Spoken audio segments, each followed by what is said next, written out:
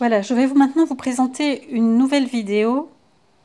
Une vidéo pour répondre euh, à, des questions qui me sont posées dans les commentaires euh, de ceux qui regardent mes vidéos YouTube. Ils demandent mais comment ça se fait que Benoît XVI euh, n'a pas tout simplement accepté de mourir ou bien n'a pas pris le micro pour dire regardez, ils veulent me menacer de mort, en réalité voilà tout ce qui se passe. Alors, ça fait longtemps que la réponse est là, c'est-à-dire que le premier pape à avoir voulu faire ce genre de choses, qui s'appelle donc euh, le pape euh, euh, Luciani, c'est-à-dire Jean-Paul Ier, quand il a voulu prendre à bras le corps le problème de la franc-maçonnerie, il a tout simplement été assassiné. Et ben, il n'a pas résolu la situation. Donc Jean-Paul II, quand il a vu cette situation, il a été très intelligent, il a confié à Benoît XVI le rôle d'agir dans le droit canon pour mettre en place un plan anti-usurpation. Euh, et on l'a compris que récemment tout ça, parce que Benoît XVI l'explique dans le livre Ein Leben, euh, ou Dernière conversation de Peter Sewald, dans un des deux livres, il explique qu'il y avait une saleté dans l'Église et il dit, je ne fais pas, pas seulement référence à la saleté des prêtres pédophiles, pour lesquels le droit canon n'avait pas euh, encore de solution et, Jean-Paul II m'a donné euh, main libre pour travailler à, cela. Et on sait que justement dans ces années-là, euh, il a modifié le droit canon.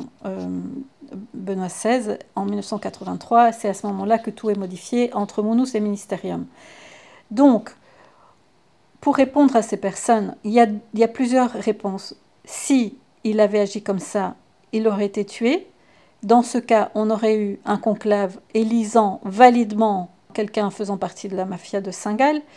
Euh, et donc on aurait eu un, vrai pape euh, Bergoglio, un vrai pape François.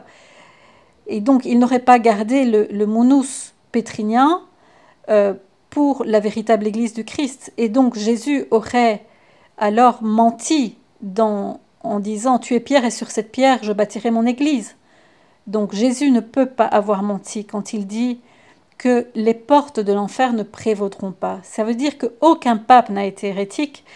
Et sur ce point, je vous invite à regarder la vidéo de l'avocat Giacomo Maria Prati que j'avais traduite, qu'il n'y a pas beaucoup de vues et c'est dommage, euh, pas beaucoup de likes et c'est dommage.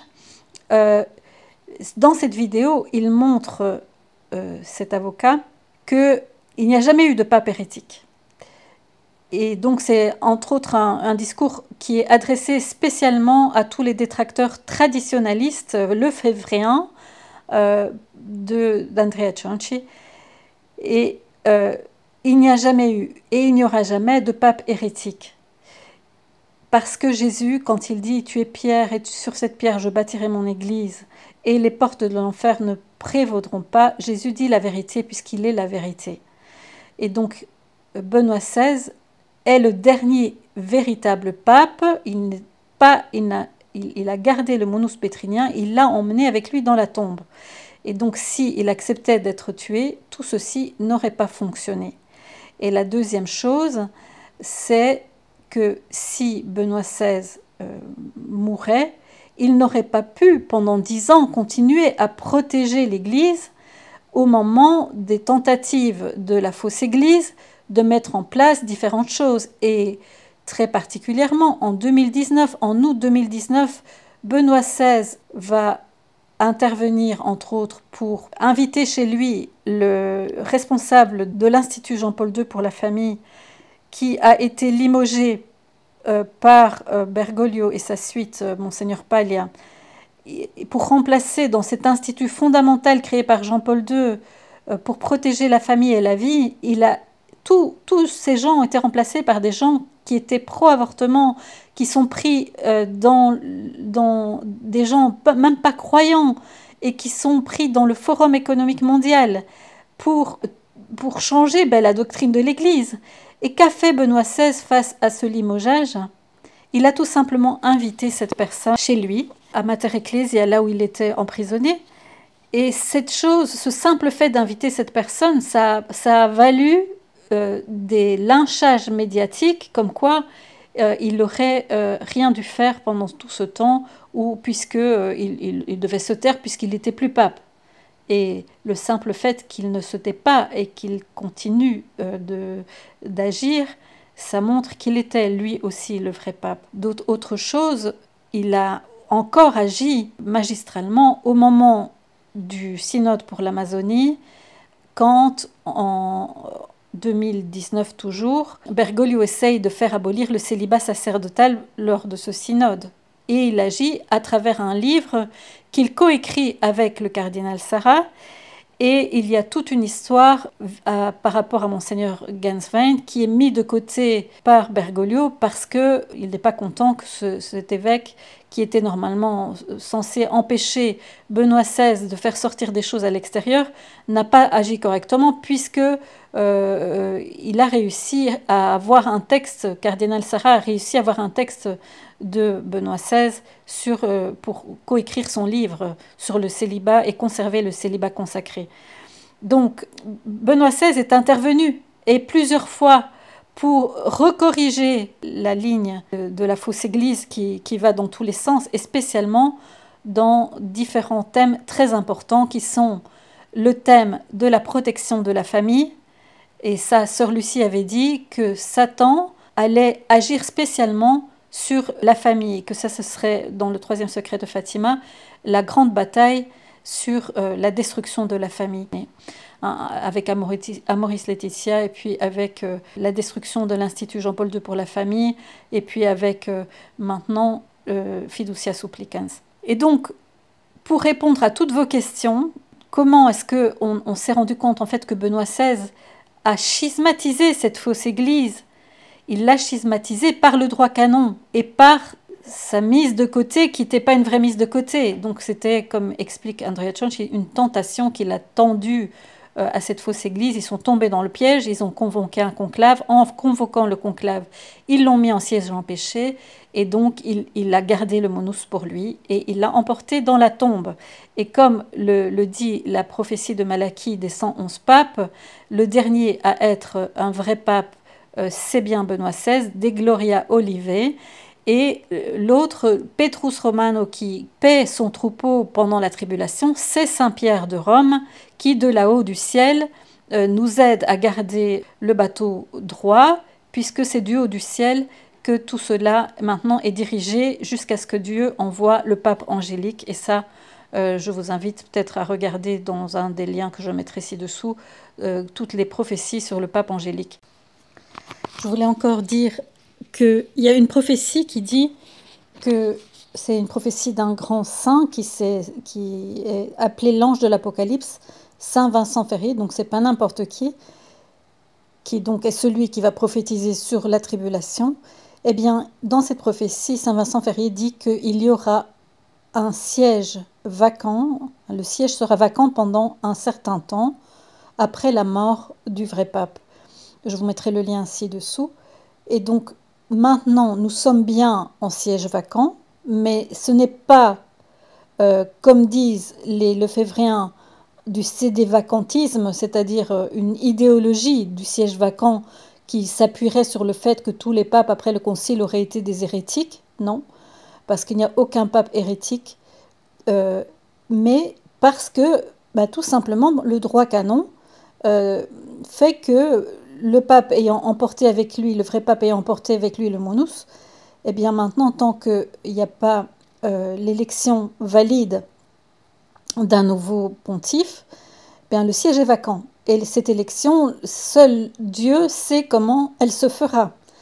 Hein, euh, donc euh, voilà, nous devons maintenant faire confiance au Seigneur parce que le nouveau monde qui viendra après Benoît XVI, c'est le monde promis après la défaite de l'Antichrist et de la seconde bête qui est le faux prophète, le Seigneur va vaincre et la Sainte Vierge va vaincre et écraser euh, le dragon. Donc nous devons nous faire confiance au Seigneur qui est le véritable pontife suprême à qui Benoît XVI a remis les clés. Mais donc nous sommes dans la tribulation, le faux prophète a pris le siège de Pierre, le faux prophète est le précurseur de l'Antichrist et il n'est pas l'Antichrist. Il est celui qui prépare la voie à l'Antichrist et regardez tout simplement tout ce que fait Bergoglio par, par rapport à, toutes ces incointances avec le gouvernement mondial, euh, que ce soit au niveau de l'écologie, que ce soit au niveau euh, du culte de la Pachamama, que ce soit au niveau de l'immigrationnisme, que ce soit au niveau de l'agenda euh, du gender et, des gays, etc., etc. Il, il épouse complètement le monde. Et donc Benoît XVI, jusqu'à ce qu'il meure, était le catéchone qui empêchait, et maintenant qu'il est mort, on voit le mystère d'iniquité euh, se, révéler au grand jour, mais la fausse Église est une fausse Église. Le monus est toujours euh, aux mains de Saint Pierre et la vraie Église va maintenant pouvoir être séparée, entre guillemets. Et donc tout ça, je vous invite à écouter cette, euh, cette vidéo passionnante qui vous explique maintenant comment très concrètement Benoît XVI a schismatisé cette fausse Église.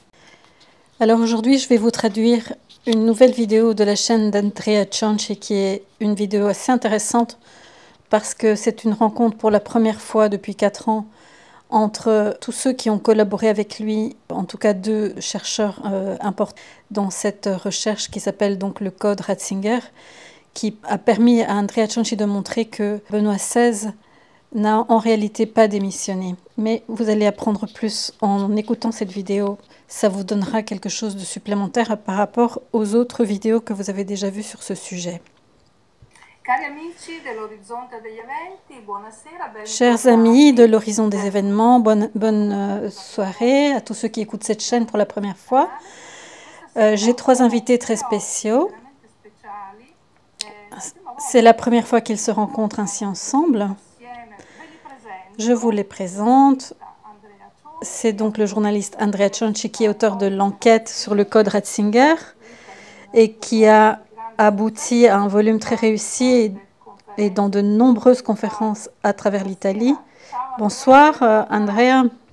Bonsoir Barbara. Merci à vous pour l'hospitalité et un salut chaleureux à vous tous auditeurs. Bon, merci à Andrea Cianci. J'ai l'opportunité, l'honneur et le plaisir d'héberger pour la première fois à l'horizon des événements. Nous allons procéder par ordre alphabétique. Donc d'abord le professeur Luca Brononi de Lugano, qui est professeur d'histoire et de religion. Bonsoir, merci. Merci pour cette invitation sur cette chaîne, pour l'organisation spéciale qui peut vraiment commencer à nous donner quelque chose d'intéressant pour tout le monde, pour tous les auditeurs. Voilà, le professeur Brunoni est professeur d'histoire et de religion. Il a aussi une chaîne YouTube à laquelle je vous invite à vous inscrire. Je vous invite aussi évidemment à vous inscrire, si vous ne l'avez pas encore fait, à celui de Andrea Cianci du Code Ratzinger. Et puis, je, souhaite la bienvenue au professeur Gian Matteo Corias. Bonsoir à vous aussi, professeur. Merci c'est un plaisir d'être avec vous. Professeur Corias est diplômé en philologie humaniste à l'Université de Florence. Il a aussi un canal YouTube euh, à laquelle je vous invite à vous inscrire. Il a eu un doctorat en civilisation de l'humanisme et de la Renaissance. Ensuite, Andrea nous expliquera quelles ont été les contributions spécifiques de nos deux invités à sa euh, recherche. Alors, comment ça se fait que nous nous retrouvons ce soir, André, avec ces deux professeurs? Merci, Barbara. Ben, ça a été une idée à toi, évidemment, pour laquelle je te remercie. Les professeurs Brunoni et Corias sont, disons, deux colonnes porteuses euh, pas les colonnes du Temple de Jérusalem, chères à la franc-maçonnerie, comme nous l'avons dit précédemment, je plaisante.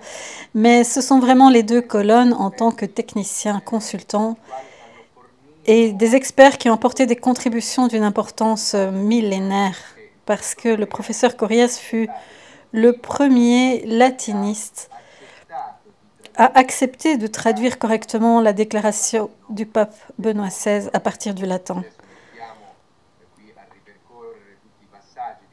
Nous sommes ici pour retracer tous ces passages. Je déclare cependant que ce n'était pas un document d'abdication ni un acte d'abdication, c'était pour ainsi dire une prophétie, un texte autoréalisateur avec lequel il a annoncé qu'il perdrait le ministérium et cela n'existe que dans le cas d'un pape empêché, la sede impedita.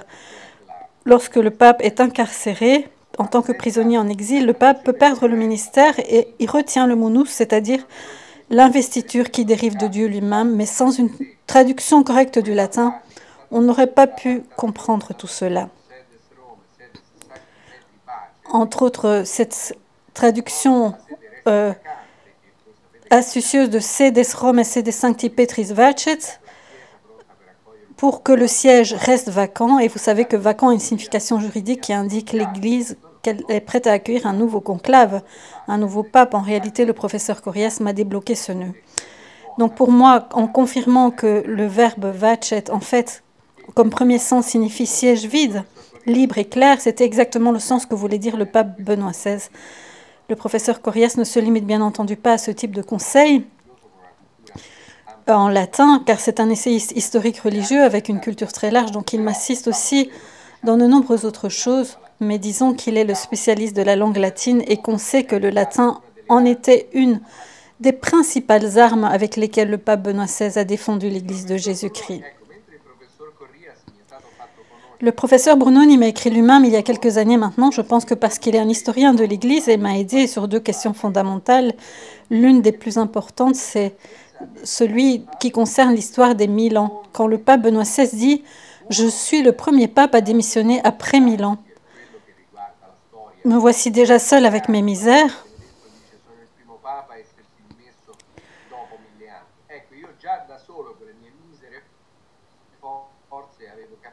J'avais déjà quand même un peu réussi à comprendre que c'était quelque chose de faux parce que le dernier pape à abdiquer était en 1415, donc 2013 moins 1415, c'est pas 1000, mais c'est 598. C'est grâce à la préparation du professeur euh, euh, Brunoni que nous avons saisi la référence du pape Benoît en fait à un autre pape qui était mille ans avant. Et lui, en tant que professeur suisse euh, m'a aidé à une chose absolument essentielle, indispensable, parce que moi je n'ai pas d'esprit mathématique pour comprendre l'utilisation par le pape Benoît XVI du cadran italique à 6 heures qui est placé au-dessus du balcon du Castel Gandolfo et qui a précisément la base du tour romain, du temps romain. Et ici, nous disons que la traduction correcte du latin et de l'heure romaine vous permet de comprendre les deux éléments fondamentaux de la stratégie du pape Benoît XVI. Avant de donner la parole à nos invités de bienvenue, je, vais je suis d'abord allée réécouter l'édition.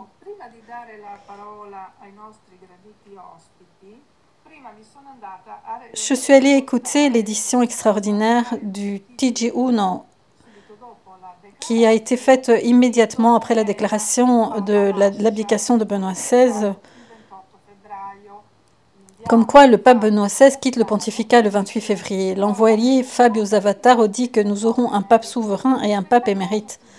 Cette chose a déjà été évoquée par le pape Jean-Paul II, Wotfila, qui en plaisantant disait il n'y a pas de pape émérite. Alors ça m'a fait un peu déstabiliser d'écouter à nouveau ce truc, comme jamais auparavant un journaliste ne parlait de pape émérite alors qu'on en aurait parlé par la suite.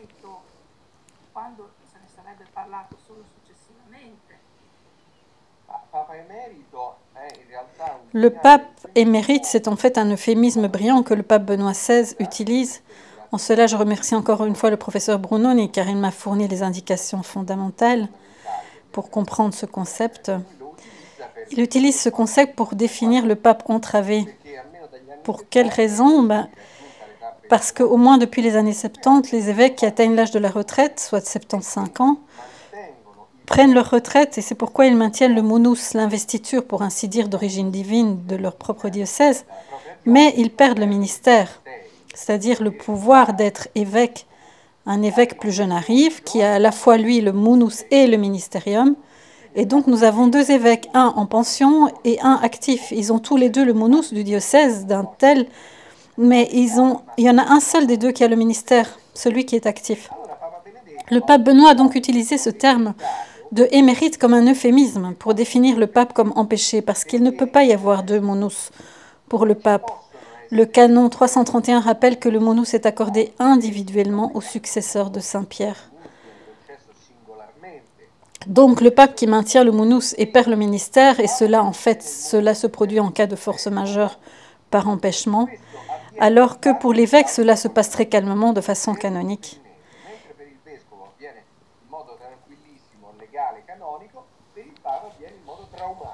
Pour le pape, cela devient, advient uniquement de manière traumatisante quand il est empêché. Mais pour lui aussi, le pape, qui est aussi un évêque, même si l'évêque de Rome, qui n'a plus le ministère mais conserve seulement le monus, et ceci dans le cas de l'évêque de Rome, qui est le pape, ne peut venir que parce qu'il est empêché. Donc, dans la pratique aussi, c'est précisément, comme vous l'avez dit, une suggestion de la part de Benoît XVI pour dire, regardez, je reste toujours dans mon rôle. Certainement, et ce fut à l'origine de cet équivoque des traditionalistes qui pensent que le pape Benoît, appliquant un concept moderniste, a voulu utiliser le monus de l'évêque aussi pour le pape et considérer ensuite légitimement un pape actif et un pape à la retraite. Ils n'ont rien compris à cette chose. Ils continuent de dire que Ratzinger, qui n'avait jamais partagé les idées des modernistes, a fait comme un coup monté, un coup de maître final, comme le dit le professeur Viglione, qui aurait rendu service aux modernistes en leur accordant cette double papauté qui n'est ni au ciel ni sur terre. Mais c'est justement de la folie, parce que le pape Benoît ne le dit pas explicitement, mais c'est une conséquence logique. Le pape qui perd le ministère est un pape empêché. Oui, si nous voulons, nous pouvons l'appeler mérite, mais ce n'est pas un sacrement. La fonction papale, tandis que le monus de l'évêque a une origine sacramentelle, donc inextinguible. Celui du pape est une tâche et une fonction à laquelle, entre autres, le pape peut renoncer parce qu'il y a le canon 332 qui dit que le pape peut redonner le monus. Il peut le rendre. Donc il peut renoncer au monus en le rendant à Dieu. Et tout ce malentendu a servi au pape Benoît pour conduire à la tentation ses ennemis, qui, comme je l'ai démontré ces derniers jours, ont manipulé les traductions de la déclaration.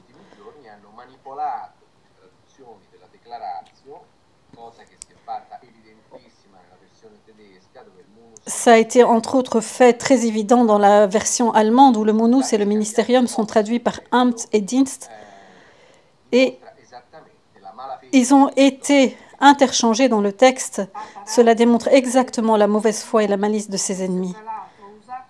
Le pape Ratzinger Benoît XVI a dit entre autres J'ai utilisé le latin pour la déclaration parce qu'en italien j'aurais pu me tromper.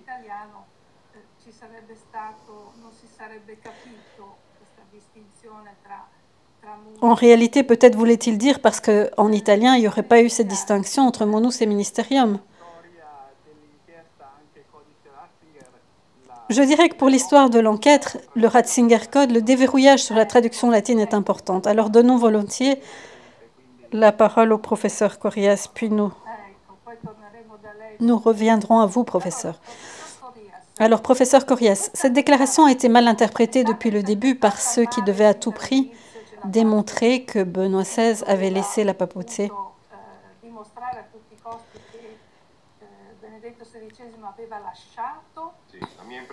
Oui, j'ai l'impression que c'est très sage, disons-le de manière assez astucieuse. Ne lisez pas cette qualification comme une volonté de caractère dénigrant envers Benoît XVI, mais ça a été un texte construit pour transmettre des contenus qui seraient ensuite décodés et décryptés. À une époque que je soupçonne Benoît XVI, imaginez longue, pas très longue, mais en tout cas pas dans l'immédiat.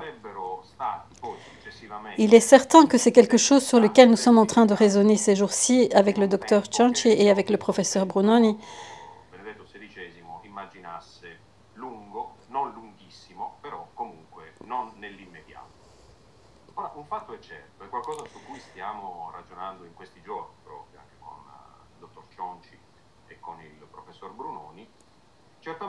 Certainement qu'au moment où ce texte latin a été traduit,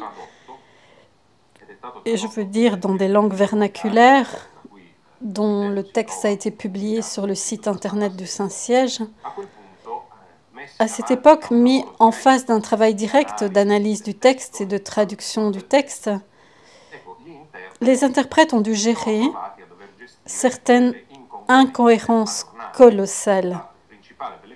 Le principal, la principale est celle qui est désormais quelque peu connue partout comme la Magna Questio, c'est-à-dire le fait que Benoît XVI déclare renoncer au ministérium de l'évêque de Rome, entre autres, et non au monus pétrinien. En fait, nous, nous, avons vu se mettre en place un escamotage pour, mettre, euh, pour surmonter euh, les problèmes canoniques qui inévitablement se seraient produits et qui, j'espère, à ce stade, devraient s'être produits. Et donc, dans la langue latine, munus et ministerium ont été traduits dans toutes les langues par un seul et même terme, qui est uniquement ministère, ou là où il aurait fallu au contraire traduire munus par charge, investiture. Cela semble un peu trop médiéval peut-être, mais il y avait tout à fait la possibilité de différencier adéquatement ces deux termes. Et le cas le plus intéressant, à mon avis, c'est celui de la traduction allemande, où aussi en raison de l'histoire du droit dynastique, qui est une caractéristique précisément de l'histoire allemande, il y a deux termes il y a deux substantifs qui permettent une traduction correcte des deux termes latins monus et ministerium, c'est-à-dire amst et dienst, qui cependant, curieusement, sont utilisés dans la traduction de manière inversée, c'est-à-dire que le titre monus traduit par dienst, qui signifie fonction, mission, administration, et vice-versa, le ministerium qui est traduit par amst, qui signifie plutôt titre, alors, à ce titre, à ce stade, c'est difficile de ne pas y voir de la fraude dans ce choix que je répète, surtout dans la traduction allemande, qui est clair. Alors évidemment, le texte de la déclaration est le point de départ de tout et aussi le point de départ de ce style de communication particulier que Ratzinger a adopté ensuite dans les années de son, disons, émérita, dont nous avons compris en fait que le sens réel était son statut de pape empêché. J'y ai repensé ces jours-ci à celui, peut-être euh, le docteur Chonchi peut me corriger si je me trompe, mais c'était le dernier code Ratzinger dont monseigneur Ganswein s'est fait le porte-parole, un, beau code Ratzinger sur le livre de Jérémie et Isaïe.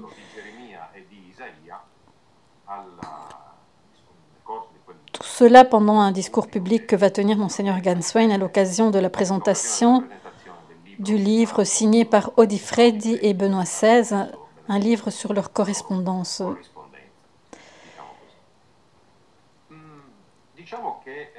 Disons que les critiques ont été évitées de se confronter sur ce terrain.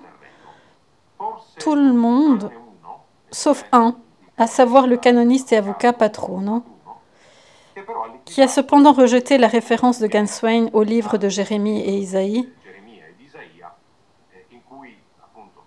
dans lequel, bon, dans le livre de Jérémie, il est question d'un prophète empêché, et l'expression se trouve traduite en latin Io sono impedito, je suis empêché. Et le livre d'Isaïe parle, lui, d'une libération de prison et d'une condition de contrainte dans laquelle le prophète Isaïe s'est trouvé.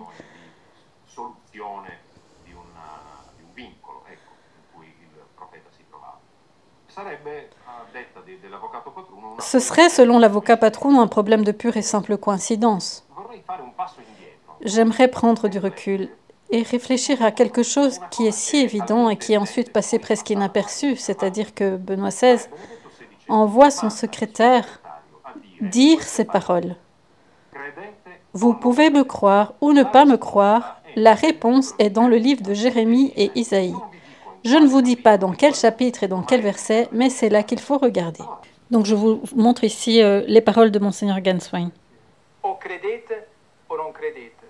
Se non credete, leggete e o Geremia o Croyez-le ou croyez pas. Si vous n'y croyez pas, lisez Isaïe et Jérémie. Je ne vous dis pas quel euh, verset, quel chapitre, mais la réponse est là. Alors, nous voulons souligner ici que Ratzinger a lancé un véritable jeu de réflexion et d'énigmes. Et dans quel but l'aurait-il fait Pour atteindre quel objectif C'est quelque chose d'absolument lunaire, mais lunaire. Sur cela, on ne s'est pas posé de questions, on n'a jamais réfléchi. Et je dirais que j'interprète cela comme une véritable indication de méthode, avant même que ce soit une indication de contenu et de mérite. Je l'interprète de cette façon. Attention, depuis dix ans, je n'ai rien fait d'autre que ça. Vous parlez d'une manière cryptée, de manière voilée.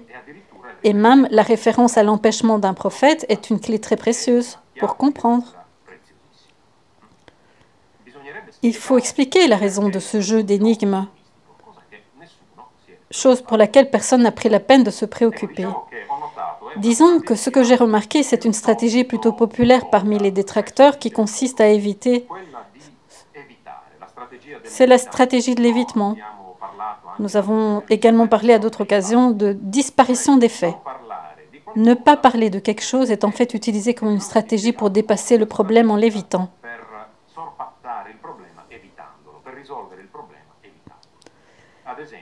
Par exemple, concernant le problème de la question de la synonymie entre Mounous et Ministerium, qui est la question, venons-en au texte de la déclaration, Benoît XVI déclare qu'il renonce au Ministerium. Oui, mais Mounous et Ministerium, sur la base de l'usage canonique, sont synonymes. C'est l'argument principal, pas le seul après tout, ce qui pourrait offrir la possibilité d'interpréter ce document comme un document réellement valable aux fins d'une abdication.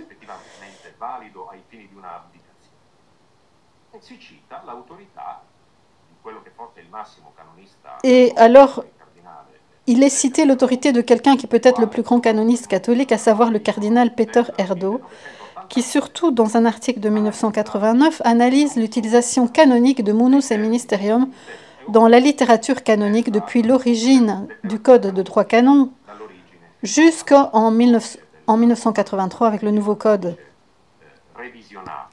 qui a été révisé également grâce à la supervision de Benoît XVI. Alors ce que nous avons remarqué, c'est que ceux qui font référence à ce document donc du, du cardinal Erdo, ils ont été plusieurs à présent.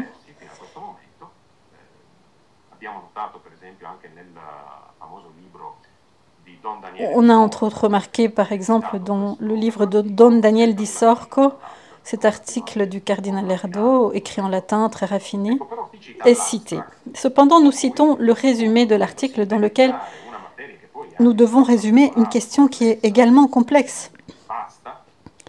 Dans le, résumé de cet article, le cardinal Erdo écrit Munus et ministerium sont des termes en grande partie synonymes. Mais ça ne veut rien dire parce qu'en fait, ce qui n'est pas fait dans ce résumé, je suis convaincue que cela n'est pas parfaitement intentionnellement, mais je vais effectivement voir quel est le discours du cardinal Erdo quand on parle du munus pétrinien dans l'article. Et c'est là que je découvre quelque chose qui ne correspond pas du tout à ce que veulent faire passer ces détracteurs.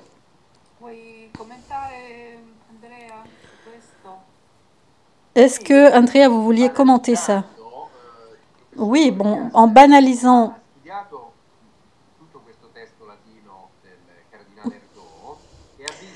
Le professeur Corias a étudié tout ce texte latin du cardinal Erdo et il a vu que ce mot munus est seulement dans des cas très rares et même de manière incomplète utilisé et pas parfaitement. Il peut être utilisé comme synonyme de ministérium en, en tant qu'office, faire quelque chose. C'est le niveau le plus bas de l'acolyte. Mais ce qui compte, c'est que le mot ministérium, lui, il s'agit de l'objet de la renonciation du pape Benoît. Lui, ce mot ministérium, lui, n'est par contre jamais utilisé comme synonyme de monos, même pas en plaisantant. Alors quand ils te disent oui, monos et ministérium sont synonymes, c'est une véritable arnaque que même les joueurs de jeu à trois cartes sont tellement malhonnêtes parce qu'ils te disent comme monos est synonyme de ministérium, alors Benoît XVI, en renonçant au ministère, a également renoncé au monos. Il s'agit d'une véritable arnaque, car si dans certains cas monus peut être synonyme de ministérium, par contre ministérium, qui fait l'objet du renoncement, n'est jamais synonyme de monus. Et puisqu'il faudrait la renonciation au monus qui n'a jamais existé, alors Benoît XVI est en siège empêché et il n'a pas abdiqué. Et donc Bergoglio est antipape, car alors si vous convoquez un conclave alors que le pape n'a pas abdiqué, le conclave est illégitime et on élit en antipape.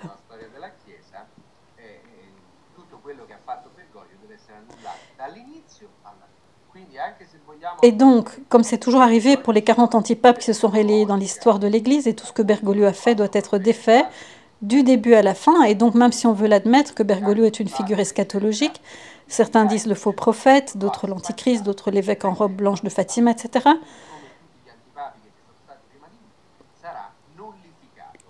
car le titre de vicaire du Christ, il l'a supprimé le concernant, faisant de lui un antipape.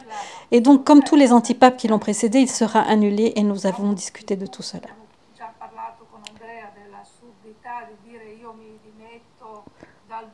Oui, on a parlé de, la part de Benoît dans sa déclaration où euh, c'est absurde de dire je démissionne à partir de tel ou tel jour du ministère à propos de quelque chose de si important que s'il vient de Dieu, comme le monus pétrinien, en dehors de cela, bref, pourquoi après cette déclaration, il n'y a eu aucun autre document où il a dit ensuite, en latin ou en italien, dans n'importe quelle langue, j'abdique vraiment Il n'y a pas eu ce document.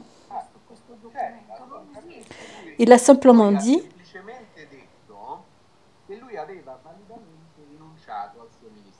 qu'il avait valablement renoncé à son ministérium. Et que celui qui mettait ceci en question avait tort et lui faisait affront. Bien sûr que le ministérium, et nous on sait, comme il l'a dit précédemment, le professeur Corias, c'est le mot qui traduit à la fois monus et ministérium.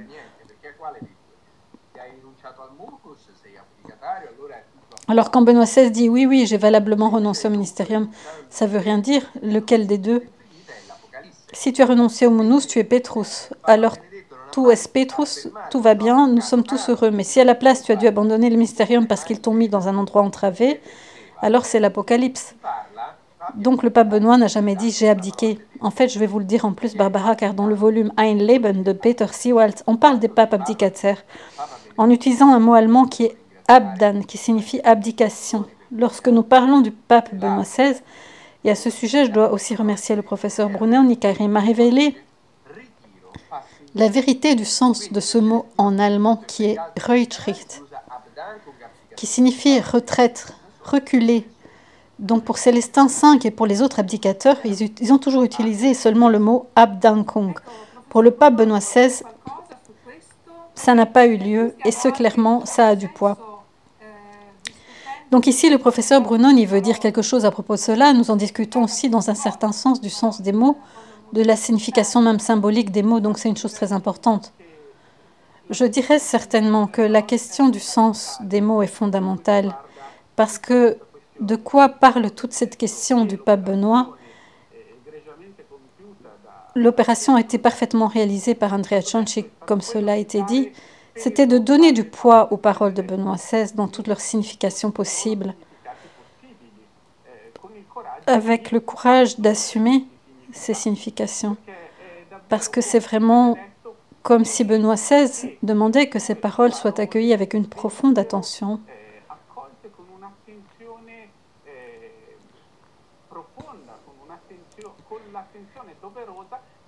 Avec l'attention qui doit être donnée aux paroles d'un pape, alors qu'il a semblé au contraire que face aux paroles de Benoît XVI, les concepts se sont échappés, les choses ont continué automatiquement sans que ce que le pape disait à ce moment-là pèse vraiment. Un peu une difficulté de notre époque envahie par mille mots et stimuli.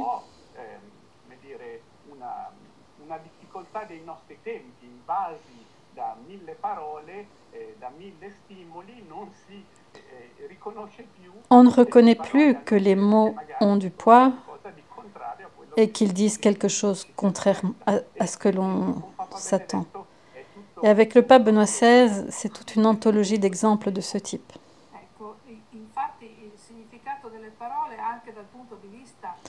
En effet, le sens des mots, également d'un point de vue juridique et légal, si une loi est écrite avec certains mots, elle doit être interprétée en fonction des mots utilisés.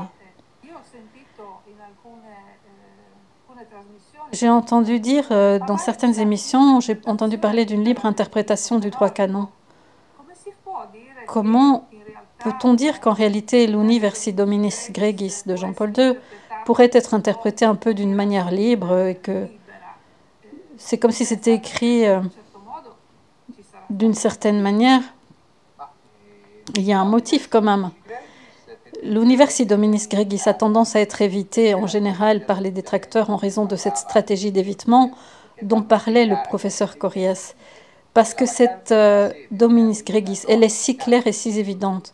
Elle dit que si la vacance du siège ne s'est pas produite selon la norme du canon 332.2, celle qui exige explicitement la renonciation monus pétrinien, si contingat mano pontifex muneri suo donc si ces conditions n'étaient pas respectées, l'élection serait nulle et invalide sans l'intervention d'aucune déclaration à cet égard.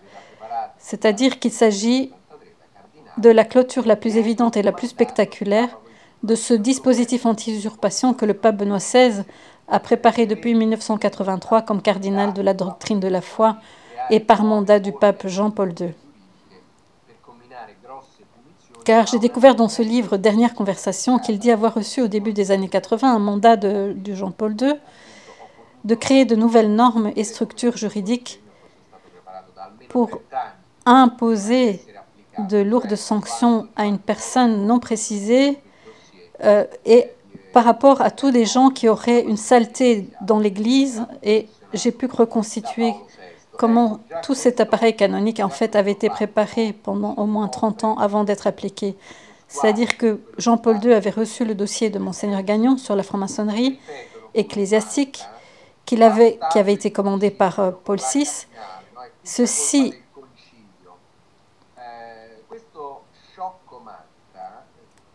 Ceci nous offre un aperçu de ce qu'était le concile, parce que ces traditionnalistes, ils répètent comme un mantra, c'est tout à fait la faute du concile, c'est la faute du concile, c'est la faute du concile Vatican. Mais ce mantra idiot, qui est une superficialité embarrassante, ne remarque pas le fait que Paul VI a lui-même commandé une enquête sur la franc-maçonnerie ecclésiastique. Donc si Paul VI devait être le pape franc-maçon, le pape moderniste, pourquoi commande-t-il une enquête sur la franc-maçonnerie ecclésiastique et pourquoi a-t-on tenté de le poignarder? Parce que peu de gens savent que Paul VI a également subi une tentative d'attaque. Et ce, pas par hasard, une attaque par un peintre sud-américain obsédé par le peuple indigène d'Amazonie, obsédé par la religiosité des Andes, voire Pachamama. Il était en contact avec des services secrets, il était lié à la théologie de la libération, une sorte de bergolien antelitteram, pour ainsi dire, qu'il a déjà fait à la fin des années 60 et au début des années 70 une, une attaque contre Paul VI. Puis ensuite, il y a eu l'attaque contre Jean-Paul II. Avant ça, il y avait eu l'attaque contre Jean-Paul Ier, Luciani, le papa Luciani, qui a fini assassiné, comme on le sait. Donc justement, Jean-Paul II, il lui tire dessus, il tente de le poignarder, euh, Paul VI. Il semble que le pape Benoît XVI ait subi une tentative d'empoisonnement. Ils l'ont fait démissionner. Alors toute cette haine envers les papes post-conciliaires, sans comprendre que la franc-maçonnerie ecclésiastique a percé grâce au concile et met en fuite les papes, pour ainsi dire, lesquels commencent alors à mettre en place un système de protection depuis le début des années 80. C'est un, panorama complexe, articulé, que nous devons enquêter. Et au contraire, ceux-ci, les, traditionalistes, ont développé une approche de haine irrationnelle envers les papes post-conciliaires. C'est pourquoi il leur devient aujourd'hui impossible, d'un point de vue émotionnel, de s'ouvrir à la compréhension du dispositif appliqué par Benoît XVI. Alors avant, je, je, parlais de remonter le temps et je repensais à la période précédant immédiatement l'acceptation en entrée du siège empêché de Benoît XVI. Et je me souviens que ce pape a été attaqué de toutes parts. Et je me souviens aussi, on se souvient tous qu'il était constamment remis en question, critiqué, Benoît XVI. Je me souviens d'articles vraiment honteux à son égard. Entre autres, un article sur des chaussures rouges, et je me souviens aussi des insinuations. Bref, c'était un pape vraiment dépeint de manière négative. Donc aujourd'hui, nous nous retrouvons avec cette chance de pouvoir réévaluer grâce à ton enquête et à toutes les contributions de cette recherche qui est faite sur ce personnage, sur ce pape, sur ces mots, nous avons la chance de pouvoir réévaluer ce pape qui se révélera un jour avoir été un pape fondamental extraordinaire. Et il a dit, je le fais pour le bien de l'Église.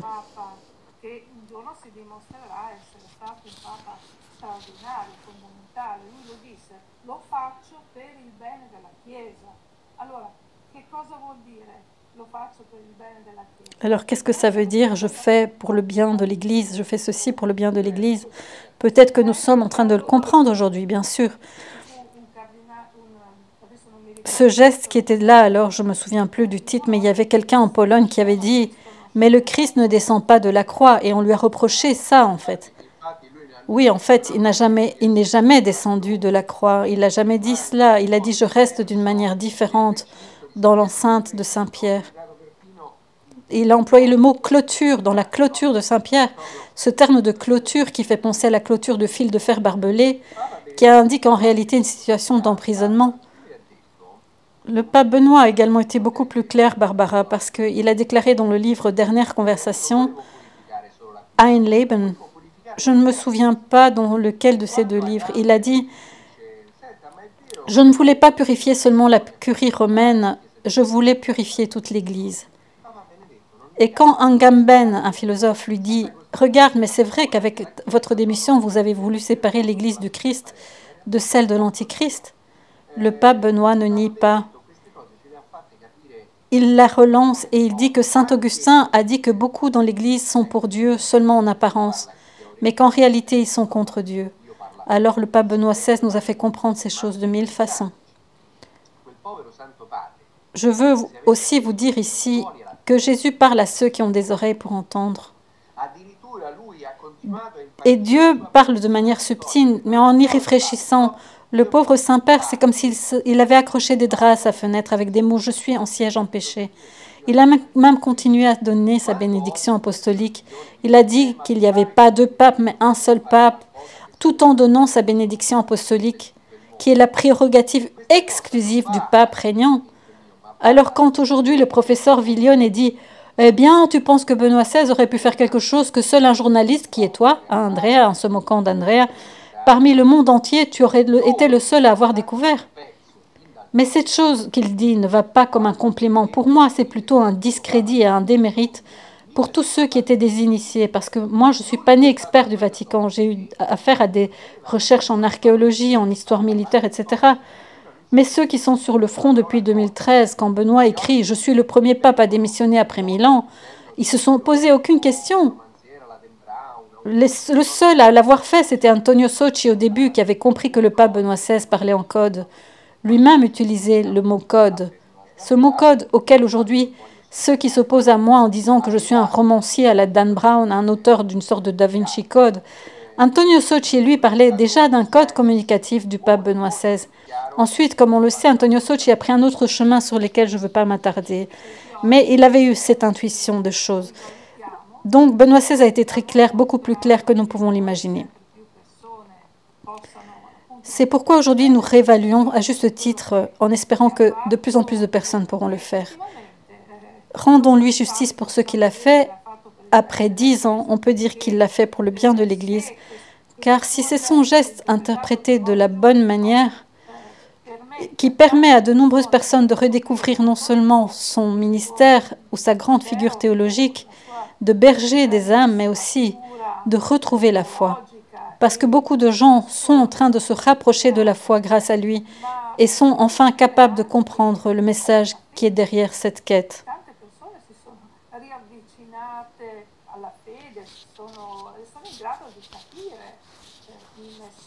Ils ont été capables de comprendre ce message qui se cache. Le pape Benoît a réussi à faire un chef-d'œuvre de son existence, c'est-à-dire de réconcilier la foi et la raison, en, latin fides et ratio. Aujourd'hui, ceux qui ont compris ce dispositif, ce sont pas ceux qui ont, ce ne sont que ceux qui ont concilié la foi et la raison. Il suffit d'avoir la raison même simplement parce qu'il y a des gens non croyants qui comprennent parfaitement ce qui s'est passé.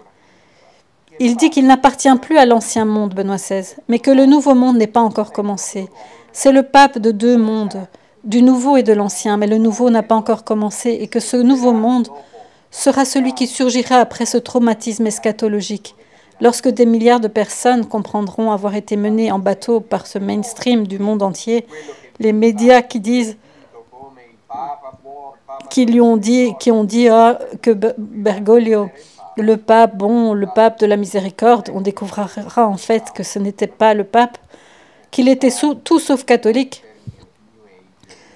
Et finalement, ce véritable traumatisme sera, pour utiliser un terme New Age, un saut quantique, c'est-à-dire qu'il s'agira d'un saut de conscience. Des milliards de personnes commenceront à avoir une approche critique de la réalité et à ce qu'il leur est dit. Benoît XVI nous a réconciliés avec le Logos. Ils en savent quelque chose, Brunoni, le professeur Brunoni et Corias. Avec Brunoni, entre autres, nous avons travaillé dur pour développer ce système de la, leur, la vicesima leur vingtième. Cela demande vraiment une bonne mentalité scientifique. Oui, nous pouvons parler avec le professeur Brunoni de cette différence subtile entre ces deux types de mesures du temps. Oui, la question du temps. Mais c'est vraiment le point d'atterrissage, je dirais, des réflexions concernant la démission du ministérium de Benoît XVI, car c'est le mécanisme qui permet canoniquement la réalisation de cette scission du ministérium et du monos.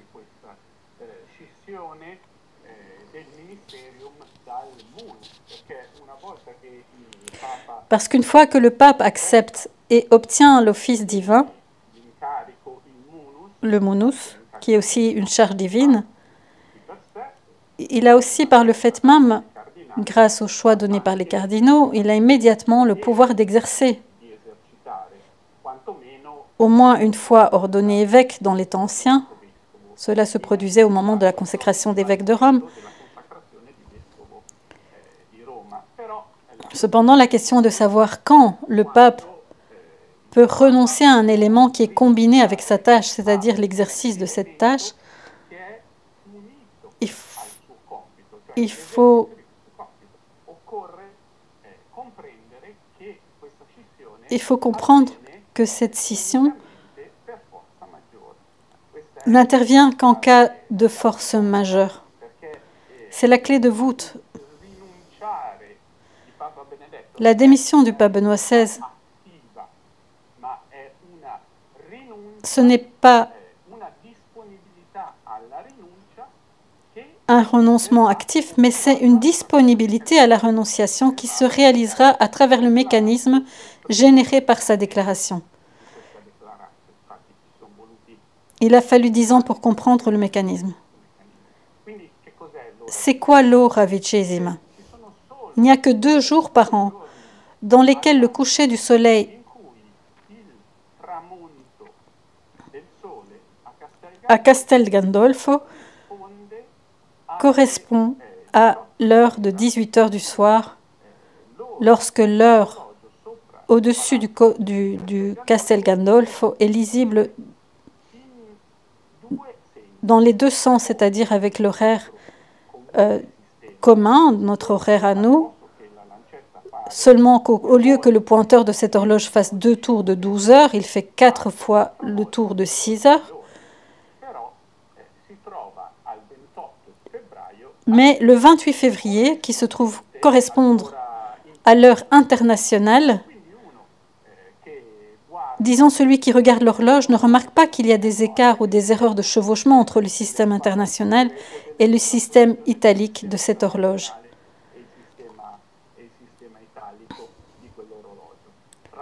Entre autres, alors, il faut imaginer que dans la déclaration du pape Benoît XVI, il avait déjà en tête son emplacement à Castel Gandolfo, c'est-à-dire la déclaration a été écrite en s'imaginant lui-même se trouver là-bas à Castel Gandolfo.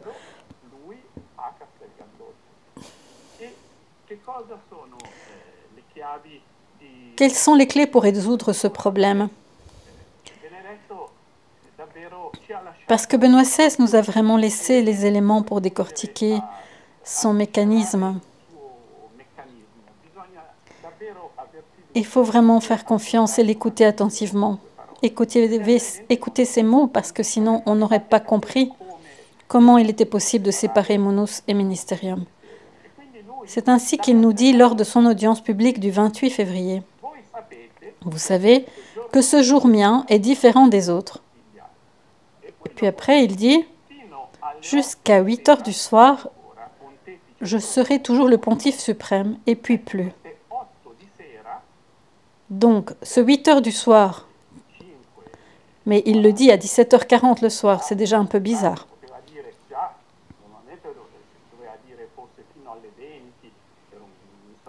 Il aurait pu dire jusqu'à 20h, mais il dit jusqu'à 8h du soir. Donc on comprend que c'est déjà un second indice dans lequel il appelle à une interprétation différente du temps. Et on sait que dire à 8 heures du soir, c'est une autre façon de dire la 20e heure. Donc nous savons que dire à 20 heures, c'est une autre façon de dire vicesima. De temps en temps, il salue tout le monde ensuite et il dit Je vous donne ma bénédiction apostolique, bonne nuit. Comment se fait-il qu'il salue avec un bonne nuit alors qu'on est toujours au coucher du soleil? C'est vraiment inhabituel. Et donc, avec ce bonne nuit, nous comprenons que pour Benoît XVI, le temps de Castel Gandolfo régulé sur un autre système, celui que l'horloge du palais pontifical indiquait,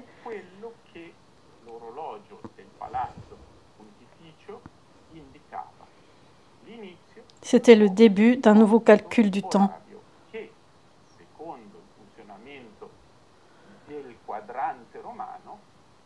Qui, selon le fonctionnement du cadran romain, aurait eu lieu au moment du cocher du soleil, qui est à 18 heures. Et donc, à ce moment-là, on est en pratiquement à minuit de ce nouveau calcul du temps. C'est pour ça qu'il dit bonne nuit. Donc, ce n'est plus un ancien système de calendrier que le pape Benoît XVI a repris. C'est simplement une amphibologie sur la lecture du cadran. Et enfin, je dirais sur l'heure vicesima, nous devons faire attention. Mais peut-être qu'après, le professeur Corias pourra dire plus, mais la déclaration avait une faute de frappe. Il était écrit heure 29 au lieu de heure 20. On sait que chaque fois qu'il y a des erreurs dans la déclaration, ce sont des points sensibles Maintenant, on a compris que chaque fois qu'il y a une erreur, elle doit être interprétée comme une faute, non comme une faute de frappe, mais qu'elle a son poids et que c'est le système de 20 heures, la 20e heure, qui est utilisé pour comprendre qu'en réalité, la référence au cadran du palais pontifical de Castel Gandolfo voulait dire le moment entre 13h et 14h du 1er mars. Donc si on compte 20 heures à partir de 18h le soir, la 20e heure à partir de 18h le soir, eh bien, ça donne 13, entre 13 et 14 heures le jour suivant, c'est-à-dire le 1er mars. Et donc, dans sa déclaration, il dit Je renonce au ministérium de façon qu'à la 20e heure, le siège soit vide. Comme on, l'expliquera après, ce qui signifie qu'à ce moment-là, le siège sera déjà empêché. C'est la question donc de l'eurodatage précise le fait qu'avant de l'entrée de cette heure, il doit y avoir eu quelque chose qui soustrait le ministérium. Et c'était la convocation du conclave à travers le bulletin du Saint-Siège qui paraît toujours entre midi et 13 heures.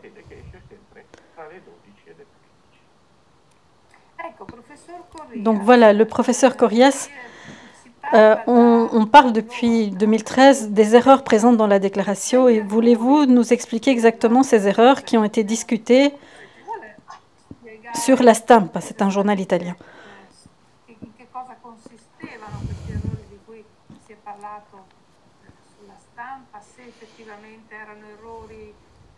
Est-ce qu'il s'agissait effectivement d'erreurs grammaticales ou bien si c'était quelque chose qui retombait toujours sous le d'être une masse d'indices diffusés par son auteur dans cette déclaration Oui, je dirais que c'est l'un et l'autre, dans le sens où il s'agit bien de deux erreurs syntaxiques graves.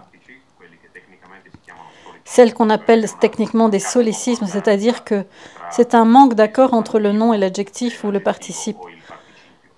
Ce sont des erreurs grossières non seulement, pas seulement graves. Ici, la faute de frappe dont parlait le professeur Brunoni, c'est-à-dire ora 29 au lieu de ora vicesima, et comment ça a été remarqué, ces erreurs, ces trois erreurs graves ont été immédiatement mises en évidence en Italie par Luciano Camfora, qui a pu lire le texte de la déclaration tel qu'il a été publié dans les journaux italiens le lendemain de la déclaration elle-même, précisément au consistoire de 2013. Ce texte a été ensuite immédiatement rectifié aujourd'hui sur le site du Saint-Siège. Il y a un texte formellement correct aujourd'hui et je dirais que quelque chose est resté, mais peut-être que nous le verrons après et nous y réfléchissons avec le professeur Brunoni ces jours-ci. La chose à propos de laquelle il faut réfléchir, c'est nous savons que ce texte de la déclaration a été médité depuis longtemps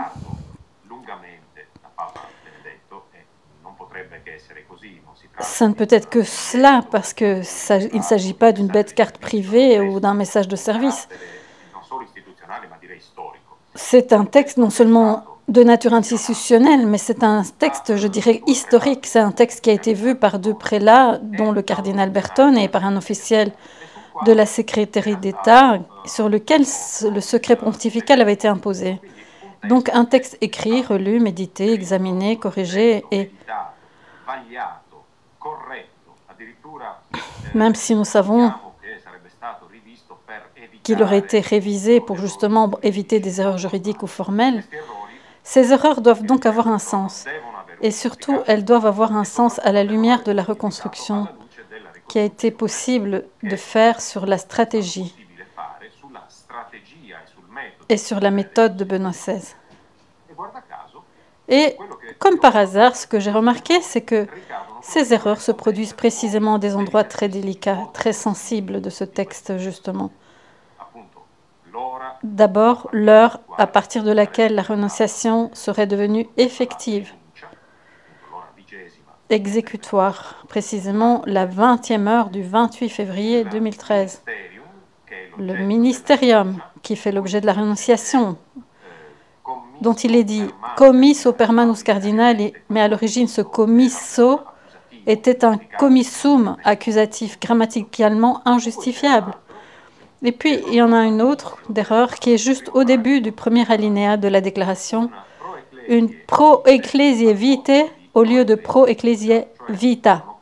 C'est-à-dire que je suis ici pour communiquer une décision d'une grande importance pour la vie de l'Église. Donc cette amphibologie, car il s'agit bien d'une amphibologie qui part de la duplicité des significations de ces deux termes utilisés tels quels pour vacet qui signifie vide ou vacant. Ici, je me suis posé la question que veut dire Benoît XVI en annonçant que la décision qu'il s'apprête à communiquer sera de grande importance pour la vie de l'Église? Pour la vie de l'Église, dans quel sens? Le mot vie a été compris jusqu'à présent selon le sens routinier de terme vie, c'est-à-dire une gestion des affaires ordinaires ou extraordinaires. Comme la vie familiale, la vie communautaire. Mais attention, le terme vie signifie d'abord subsistance et existence. Et ensuite, si on donne à ce nom son sens originel, les choses changent de manière drastique, c'est-à-dire je suis ici pour vous communiquer une décision. Et sur ce terme décision, on pourrait aussi encore discuter, mais bon. Le terme pour l'existence de l'Église, ça change tout. Tout change dans le sens où ce que je m'apprête à vous dire a à voir avec la survie de l'Église elle-même. Donc ici, je vais prendre un moment à cette dernière indication en renouant avec cette instruction historique qui a été proposée auparavant et qui aurait conduit le cardinal Ratzinger à prendre cette décision, euh, qui, aurait conduit euh, Benoît XVI à prendre cette décision. En fait, c'est une décision historique critique car elle a eu l'effet de schismatiser une partie de l'Église. Une accusation qui a été portée à Benoît XVI, c'est d'avoir jeté les catholiques dans le chaos, dans la confusion, chose impardonnable qu'il aurait faite en procédant ainsi. Mais il s'agit justement de comprendre dans quelle perspective Benoît XVI a pris cette grande décision importante pour la vie de l'Église, enfin pour la survie de l'Église.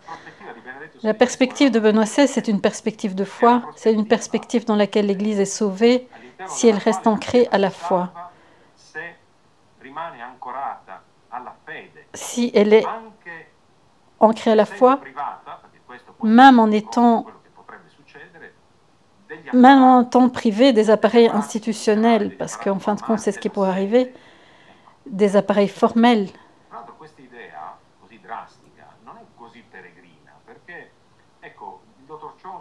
On pourrait dire que cette idée n'est pas si drastique, si étrange, car si le docteur Chonchi a souligné à plusieurs reprises l'importance d'un théologien très aimé par euh, Benoît XVI, le théologien Ticonio, qui parlait effectivement de la mania ceso, c'est-à-dire le clivage, l'éloignement, littéralement de l'Église des fidèles, de l'Église des, du diable.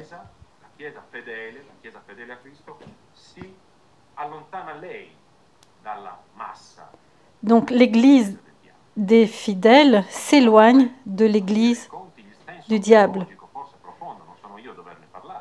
Donc c'est une discesa à l'envers, pour ainsi dire, c'est l'Église fidèle qui part, qui se distancie de l'Église du diable. C'est en fait, en fin de compte, un sens théologique profond. C'est pas moi qui dois en parler, mais je suis obligée d'en parler en tant qu'observateur externe. Je dirais que le sens de la décision de Ratzinger est précisément ceci. C'est une mise en œuvre concrète qui fait date dans l'histoire de l'Église d'un théologien qui est un théologien ancien, Ticonio, autorisé précisément dans l'histoire de la théologie, qui a précisément été défini par Ticonius la discesi. Et je dirais maintenant, juste pour clore l'histoire concernant les critiques faites à Benoît XVI, il y en a une autre que je trouve particulièrement désagréable. Et je l'aperçois comme telle parce que ils disent que Benoît XVI aurait écrit cette déclaration un peu avec ses pieds. Euh, il aurait écrit Ministerium au lieu de Mounous parce que, étant un théologien moderniste, il était au fond un maladroit et qui, en somme, a pris des sifflets pour des flacons.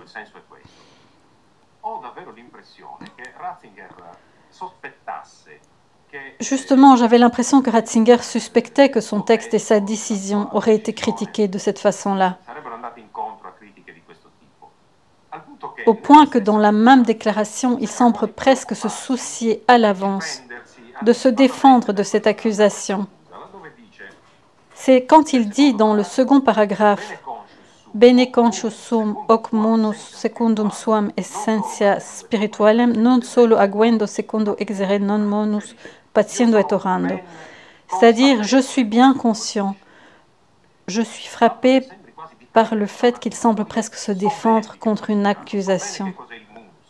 Je sais bien de quoi il s'agit, je sais bien ce qu'est le mounous, dit-il. Je sais bien que le mounous a une essence spirituelle qui doit être rendue effective. Et maintenant, dans mes recherches lexicographiques, il est ressorti que le verbe exequor, qu'il emploie, dont l'infinitif est utilisé ici comme un verbe technique de la loi, qui signifie proprement traduire du domaine de la théorie juridique au domaine de la pratique. Rendre exécutoire, appliquer, comme s'applique une loi et comment elle pourrait être appliquée? C'est une leçon de théologie pastorale presque, pas seulement par l'action, la prédication, non seulement par l'action pastorale et les paroles, mais aussi et non moins avec la souffrance et la prière, patiendo et orando. Ici, c'est dit clairement. Quelle est la différence théologique et non seulement juridique entre le munus et le ministérium Comme si cela ne suffisait pas, c'est une découverte que je dois dire que je suis dont je suis particulièrement fière. Voici dans le texte de la déclaration tel qu'il est mentionné dans l'acte. C'est ce document qui a été, disons, enterré ensemble avec le corps de Benoît XVI. Donc c'est une variante de ce texte, car le texte de la déclaration est cité, mais avec une variante. Il ne dit pas agendo et loquendo extequi debere, mais il dit agendo et loquendo exercitri debere. Alors pourquoi cette variante? C'est très peu probable que cette variante soit un oubli, non. C'est aussi une interprétation tellement grossière. Ce sont des paroles d'un calibre institutionnel historique, presque sans précédent, je dirais, dans le monde contemporain. D'où les oublis ici, ils ne sont pas autorisés, ils ne sont même pas admissibles. Je dirais, pourquoi cette variante? Pour la même raison pour laquelle il y a des erreurs latines dont nous, avons parlé. C'est-à-dire que le cardinal Ratzinger voulait évidemment attirer l'attention sur ce verbe, qui est également dans la variante exercere, exerceo, qui a un usage sectoriel juridique et qui signifie exactement la même chose traduire du domaine de la théorie juridique au domaine de la pratique. À tel point que exercere legem signifie appliquer une loi. Donc, le, pape Benoît a donné tous les indices à partir desquels la reconstruction que nous essayons de réaliser et de confectionner ces dernières années a été possible et autorisée.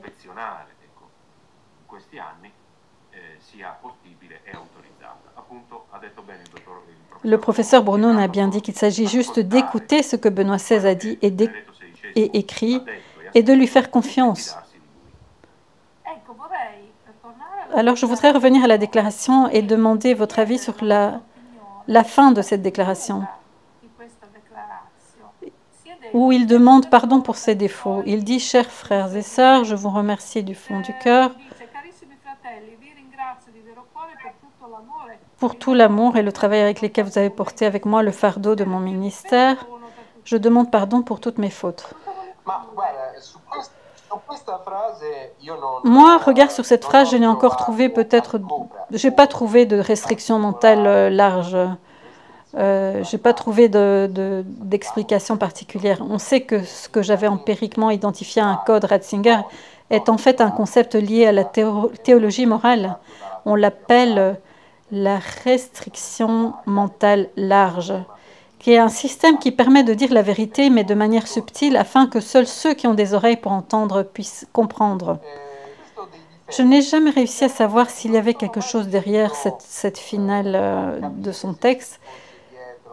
Peut-être que oui, peut-être que non. Il n'y a pas forcément un second sens, comme euh, quand il dit avoir reçu le ministère le 19 avril 2005.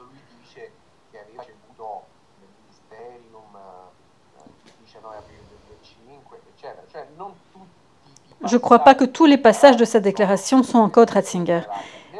Mais il y a un certain aspect très significatif quand il dit par exemple que le, travail avec lequel vous avez porté avec moi le fardeau de mon ministère, ce sont les cardinaux qui aident le pape dans son travail de faire le pape c'est significatif. Maintenant, nous confions la Sainte Église aux soins de son pasteur suprême Jésus-Christ.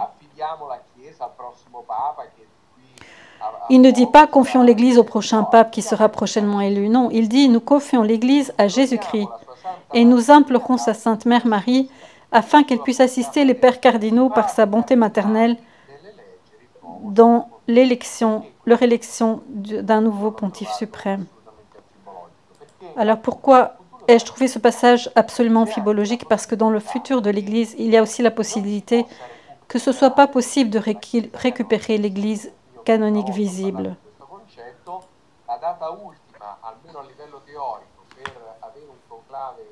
J'ai parlé de ce concept, de ce concept plus d'une fois, et la, la, dernière fois, au moins au niveau théorique, c'est qu'on pourrait avoir un conclave légitime jusqu'au 18 août 2036 lorsque le cardinal Rainer Maria Berchi, archevêque de Cologne, aura plus de 80 ans.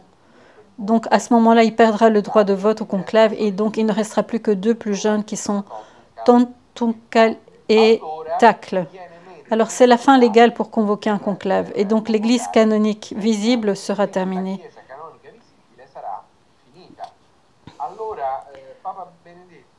Le pape Benoît nous dit Prions Marie d'aider les pères cardinaux à élire le nouveau pape. Il ne dit pas que le prochain vrai pape sera un chef spirituel élu par acclamation, comme étant probablement certains présentent comme des solutions canoniques pour récupérer le siège euh, actuel. Au sujet de cette phrase que tu m'as rappelé, je demande pardon pour tous mes défauts. J'ai envie d'encourager le professeur Corias à se pencher sur la version originale latine.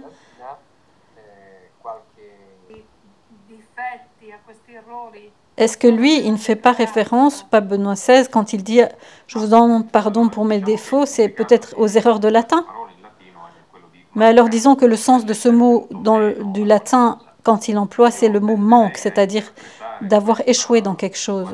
J'aurais tendance à interpréter cette demande de pardon pour ses manquements comme quelque chose de sincèrement chrétien. Je dirais qu'il n'y a pas ce travail amphibologique que nous avons trouvé ailleurs.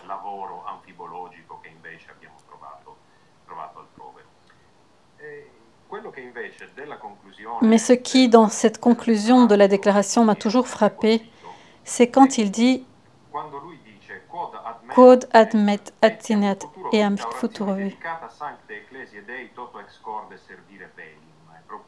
C'est la finale. En ce qui me concerne, à l'avenir, je veux servir l'Église de Dieu de tout mon cœur avec une vie dédiée à la prière.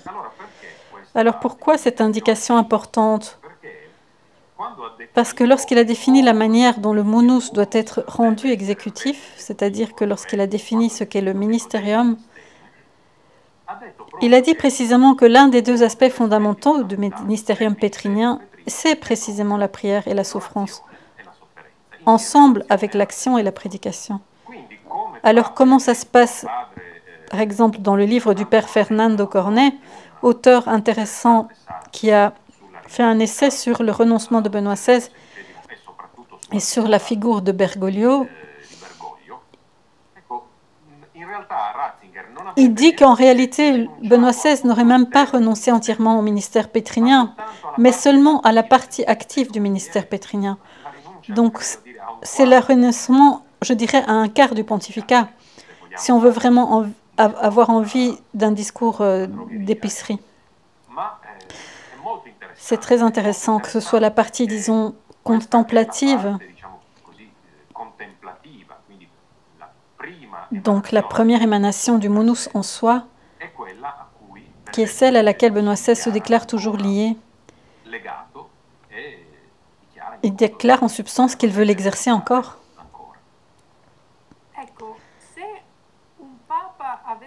Si un pape avait vraiment voulu le faire, d'abdiquer, qu'est-ce qu'il aurait dû écrire? Je renonce, renuncio al munus Santi Petri de manière claire, certainement, absolument, il aurait dû le dire. Il aurait dû enlever ses vêtements pontificaux, ne plus donner sa bénédiction apostolique, renoncer à la résidence dans l'enceinte de Saint-Pierre. Il aurait pu tranquillement aller vivre avec son frère qui les mettant en Allemagne. Et il n'aurait certainement pas dû intervenir pour corriger les manifestations magistrales de Bergoglio comme il l'a fait à plusieurs reprises.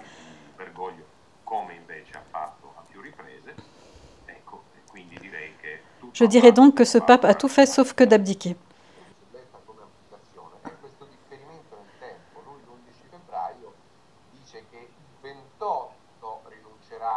Donc, lui, justement, il dit, le 28, je renoncerai au ministère. Donc, il met un report dans le temps.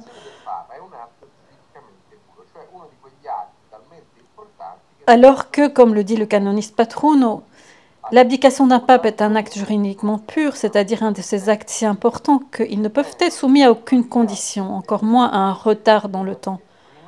Donc le professeur le dit bien, il aurait dû dire Je renonce au présent au monus petrino, l'investiture qui m'a été donnée par Dieu, et je, reviens, je redeviens évêque, je redeviens cardinal. On peut voir à cet égard le renoncement de Célestin V qu'on trouve sur Wikipédia et qui ne laisse aucune trace ambiguë à tel point qu'il dit je renonce à tout, honneur, fardeau, dignité, etc. avec la papauté. Donc comme ça a été écrit dans les journaux, tout le monde était d'accord que cette décision avait été prise par le pape bien à l'avance. On parle d'une décision prise autour du voyage à Cuba et j'ai trouvé cette référence très intéressante. Donc j'ai médité d'autant plus si on a beaucoup de temps pour y réfléchir à cette décision on n'aurait pas dû alors inclure des ambiguïtés s'il n'y avait aucune explication euh, pour lesquelles nous aurions des doutes qui sont toujours là parce que nous l'avons dit tant de fois. La question, la question de la démission du pape Benoît n'est pas une invention actuelle, c'est une question qui traîne depuis dix ans maintenant.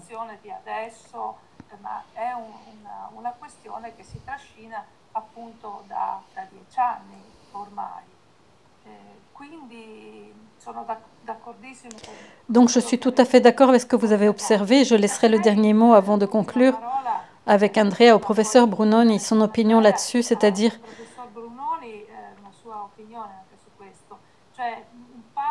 un pape qui rend sensationnel ce geste très important,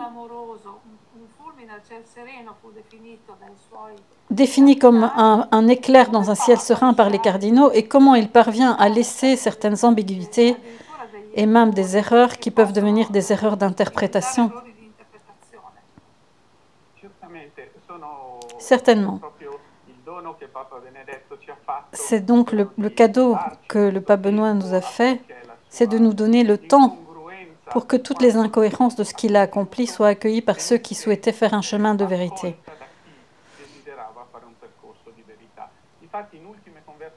En fait, dans le livre Les dernières conversations de Peter C. Wells, il dit que il dit j'étais beaucoup heureux les jours qui ont suivi ma déclaration parce qu'il y avait une retraite spirituelle dans la curie et je voulais que chacun puisse réfléchir à mes paroles, ce qui n'a manifestement pas été réalisé avec l'attention voulue. D'autres personnes ont fait cet exercice afin d'identifier toutes les subtilités qu'il a semées dans cette déclaration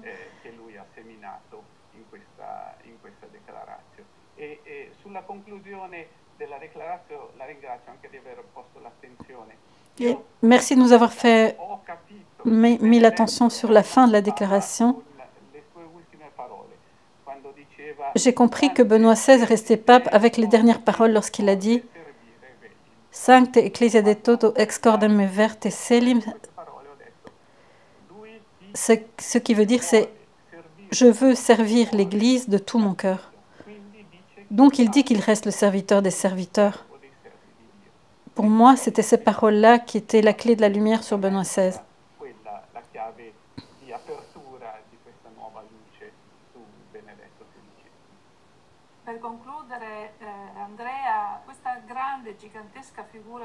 Pour conclure, Andrea, cette grande figure gigantesque de Benoît XVI, non seulement pour avoir accepté son siège empêché, mais surtout après sa mort. C'est comme si cette, sa figure était destinée à briller de manière particulière pour les années qui viennent. Après tout, je me demande que lui pensait être complètement à la merci d'une Église qui n'est plus ce que lui-même est. On ne sait pas où ça, elle va. C'est pas une idée absolument désespérée où il n'y a aucune issue. Penser que, en fait, un pape a défendu l'Église et recherché le bien de l'Église en restant à sa place, à la place de celui qui retient le mystère d'iniquité, tant que sa vie et sa santé le permettaient, jusqu'à affronter l'avenir, est-ce que ce n'est pas une force qui nous aide nous-mêmes aussi à affronter l'avenir? Bien sûr, certainement, il y a un grand soulagement car la tragédie dans laquelle les soi-disant unacum qui disent je me vautre et je me réjouis d'être conservateur traditionnaliste et qui légitime pourtant Bergoglio, c'est la tragédie de la trahison du Christ qui pourtant avait promis Tu es pierre et sur cette pierre je fonderai mon église et l'enfer ne prévaudra pas. Et alors, nous voyons que cette église des satanistes maçonniques et gnostiques ont pris le pouvoir Jésus-Christ s'est moqué d'eux et évidemment, ils se démènent pour essayer de justifier la possibilité d'un pape hérétique. C'est un blasphème contre le Saint-Esprit parce que leur orgueil et leur arrogance, leur peur et leur attachement à l'argent les empêchent de voir cela. C'est une réalité évidente,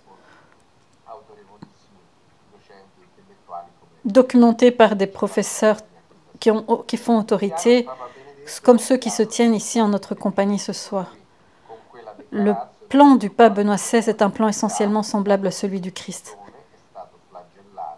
il a été trahi, il a été mis en prison, il a été fouetté, il a été mis à mort et il est ressuscité. Dans quel sens il est ressuscité? Pas exactement comme Jésus qui passait à travers les murs du Cénacle, mais il est canoniquement ressuscité. Disons que nous passons en ce moment par la phase Emmaüs. J'aime à croire cette réalité, c'est-à-dire des gens qui passent par, par hasard par là, comme moi ou Don Minutella. Don Minutella, c'est un prêtre, un expert, mais c'est quelqu'un qui est vraiment passé par là. Et moi, je ne suis même pas vaticaniste. Et nous avons découvert que le pape, qui tout le monde pensait qu'il était abdicateur euh, et enterré, oublié, était en fait le vrai pape qui reviendra flamboyant, comme tu l'as dit, dans la gloire de sa légalité de pontife, de vrai dernier pontife. Et donc,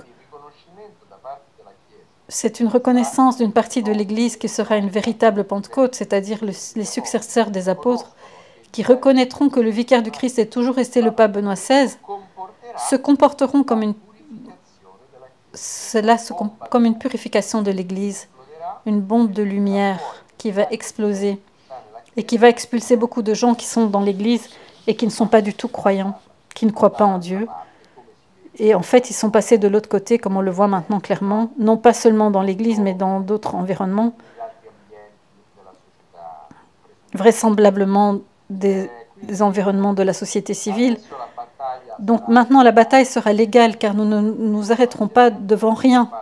Nous avons porté plainte à la gendarmerie pontificale, à la garde suisse, sur les falsifications qui ont été réalisées dans la déclaration, et notamment dans la déclaration allemande. Elles doivent être déclenchées. Le système judiciaire du Vatican, depuis le 20 novembre, le Saint-Siège est à la connaissance de cette enquête, de ces plaintes qui ont été déposées auprès des cardinaux.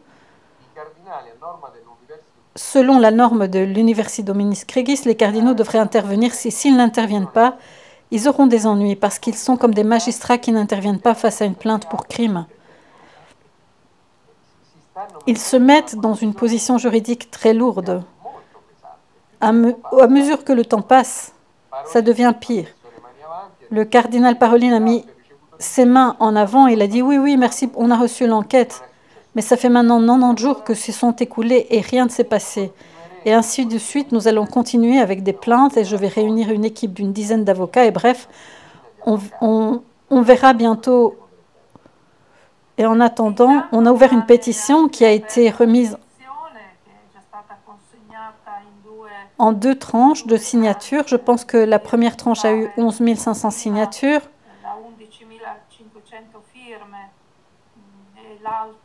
Et l'autre...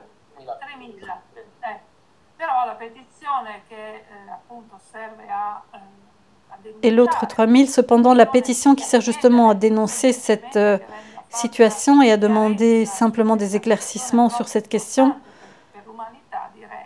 est importante pour l'humanité. Je dirais même euh, continuer à signer cette pétition. Nous espérons que d'autres signatures soient ajoutées pour que ce, toutes ces personnes qui, qui demandent qu'on puisse faire jaillir la lumière dont nous avons tant besoin.